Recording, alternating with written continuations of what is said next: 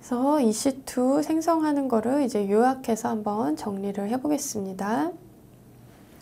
먼저 맨 처음에 AWS에 로그인을 할 때는 이제 region을 선택하고 관리 콘솔에서 이제 EC2 instance를 생성하고 대시보드에서 관리를 하시면 되겠습니다. instance를 생성하실 때는 먼저 AMI를 선택하고 그 다음에 instance 타입을 선택한 다음에 어, 네트워크와 IP 주소를 VPC로 어, 선택을 해서 할당을 자동으로 해주시면 되고요. storage를 추가하실 분들은 storage를 추가하고 보안 그룹 설정을 해주시면 되겠습니다. 네. EC2에 대해서 접속을 할 때는 SSH로 어, 접속을 하게 되고요. 이 SSH로 접속을 해서 필요한 소프트웨어를 설치하거나 설정을 하실 수가 있습니다.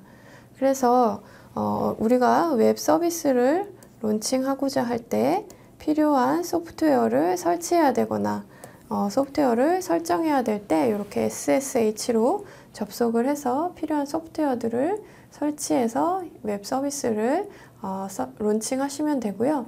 이렇게 어, 필요한 소프트웨어들을 어, 활용해서 필요한 웹 서비스를 목적에 맞게 잘 만드시면 되겠습니다.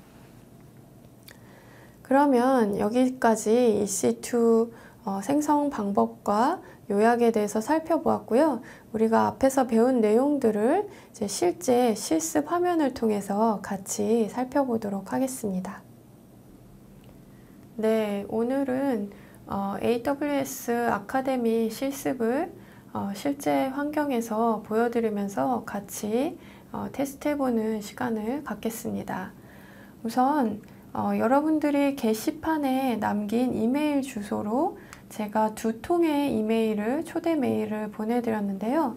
하나는 AWS Academy에서 보낸 메일 중에 AWS Academy Cloud Foundation 이라는 이 메일이 한 통이 왔을 거고요. 저는 Hotmail 계정으로 이걸 받았습니다. 그 다음에 두 번째 초대 메일은 AWS 아카데미에서 콜스 인비테이션이라는 제목으로 온 메일 중에 AWS 아카데미 러너 랩이라는 어, 메일이 한 통이 왔습니다. 그래서 실습을 하기 위해서는 이 AWS 아카데미 러너랩 파운데이션 서비스라고 하는 이 메일을 이제 여러분들이 자주 보셔야 되는데요. 이 Course Invitation 중에 어, AWS 아카데미 러너랩이라고 되어 있는 이 메일의 밑에 보시면은 Get Started라는 파란색 버튼이 보여집니다. 그래서 이 파란색 버튼을 누르시면은 이제 아카데미 계정으로 연결이 되는데 그거를 한번 같이 보시도록 하겠습니다. 저는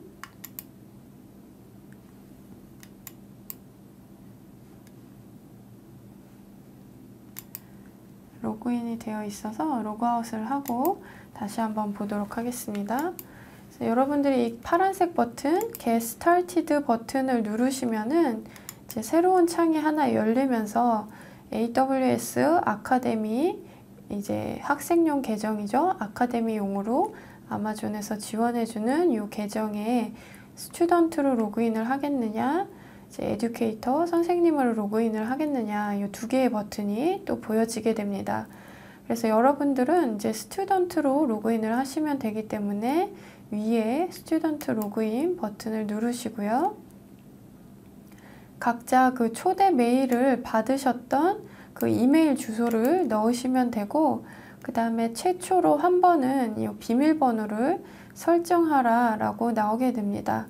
그래서 처음에 한 번은 비밀번호를 설정을 하셨을 거니까 그 비밀번호를 설정하신 분들은 그 비밀번호를 놓고 로그인을 하시면 되고 아직 비밀번호 설정을 안 하신 분들은 여기에서 패스워드 설정을 하고 최초는 어, 한번 가입을 해라 라는 메일이 나오는 메시지가 나오는데 그 화면에서 패스워드 설정을 해주시면 되겠습니다.